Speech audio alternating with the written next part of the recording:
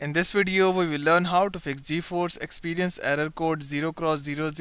So So when let's you open begin. your GeForce Experience, you might get uh, some error that says that something went wrong. You need to restart your PC.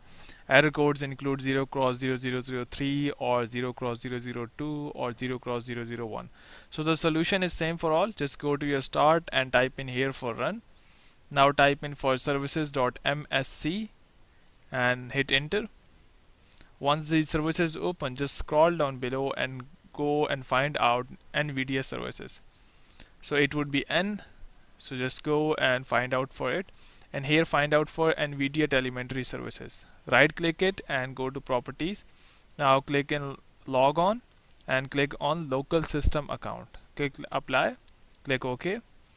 And now again go to that service that is NVIDIA telemetry services container sorry. So here we have NVIDIA telemetry container. Right click it and click on start. And it has restarted. Just go and close it and now open GeForce and the problem will be solved of something went wrong.